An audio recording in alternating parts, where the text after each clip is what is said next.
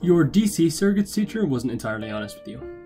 You thought voltages and currents were scalars, or just numbers, and that Ohm's law looked like this. But a more complete picture of Ohm's law looks like this. Here we treat the values of voltages and currents as vectors, which we'll call phasors, and we treat the resistance as only one component of a vector, called impedance. This is the equation for an AC voltage, but you can see it's sort of ugly. It's dependent on time and includes a frequency, even though we know all frequencies in the world are either going to be 50 hertz or 60 hertz. It has this unpleasant trig function, so we don't want to deal with that.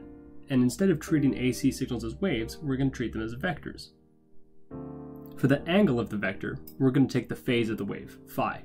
You can think of this as the shift or the offset of the wave, and that's where the name comes from, phase vector, phasor.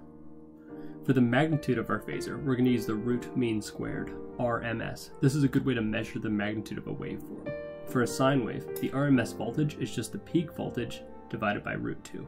So this will be our magnitude. Now we've converted our equation for a wave into a phasor. So there are voltages and currents, and we're two-thirds of the way there. The vector impedance is made up of two components. One is resistance, R, which is the result of resistors, obviously. The other is reactance, X, which is the result of capacitors and inductors. Now, unlike voltages and current phasors, we typically don't write impedance as a magnitude and an angle. Instead, it's broken up into its components. The horizontal i hat axis is the resistance, and the vertical j hat axis is the reactance. But instead of writing these in the xy plane, we're going to imagine them in the complex plane. The x-axis is the real component, the y-axis is the imaginary component. And because electrical engineers already decided to use I to represent current, which stands for intensity of current by the way, we will use J to represent the imaginary number, much to the scorn of mathematicians everywhere. So our 2D vector is actually a complex number. Let's look a little bit more into reactance. In DC, capacitors and inductors eventually just become open and short circuits. But in AC, what they do is they shift the phase of our waves.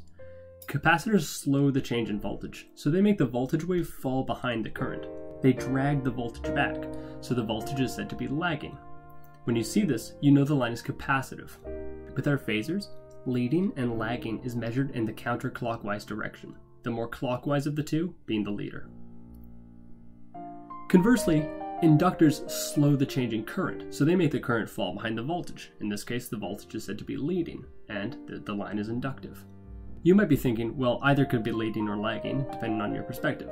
The voltage could be leading by 90 degrees, or it actually could be lagging by 270 degrees but by convention we just take the smallest angle.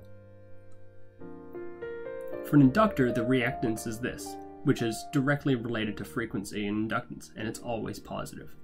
For a capacitor, the reactance is this, which is inversely related to frequency and capacitance, and as you will note, is always negative. So now we have our three vectors, and in future videos we will rely on our understanding of these concepts. They will let us visualize and understand otherwise confusing shifts and sums of waves instead of simple vector operations. I wouldn't feel right if I didn't acknowledge 3Blue1Brown. He made the animations in this video possible, and I'm completely plagiarizing his style.